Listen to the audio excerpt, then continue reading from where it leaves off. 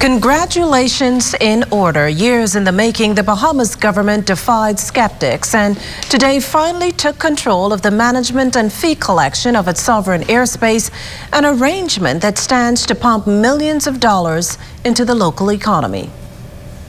Today, the Bahamas will assume for the first time the management of its sovereign airspace.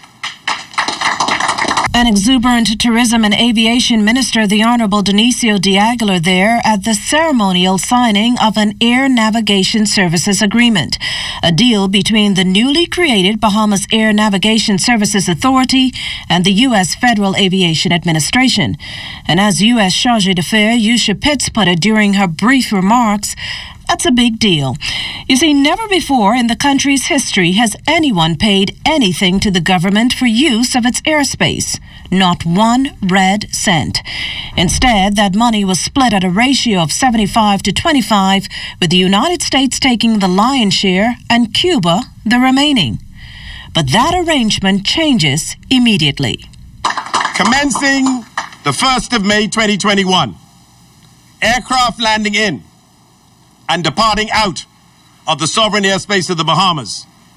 Aircraft flying solely within the sovereign airspace of the Bahamas. And aircraft flying over the sovereign airspace of the Bahamas will start for the very first time to pay fees to an entity solely owned and operated by the government of the Bahamas.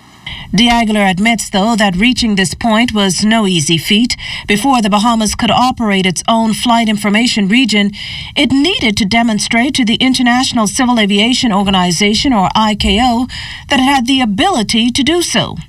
It needed the resources to build the necessary air traffic control infrastructure and to hire and train the necessary air traffic controllers. There had to be a change in direction, a lengthy journey that also addressed this issue. We do not have the infrastructure nor the capacity today to provide air traffic, air traffic control services above 6,000 feet in our sovereign airspace.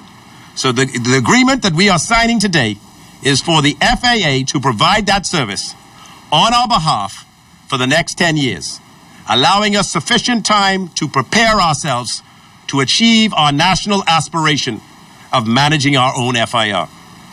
Funds collected from the users of our sovereign airspace will be used to cover the current operating costs of civil aviation in the Bahamas, but must also be used to build capacity. Joining the press conference virtually, the FAA's lead negotiator Dave Burkholder says Wednesday's signing marks a great sense of accomplishment.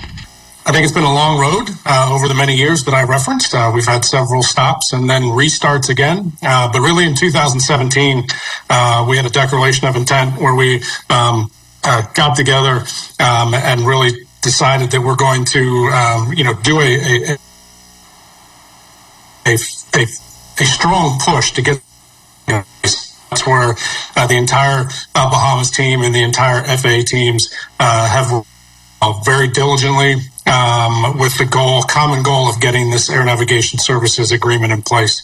Now, due to the ongoing COVID environment, the FAA signatories inked the agreement and annex in Washington this past Friday.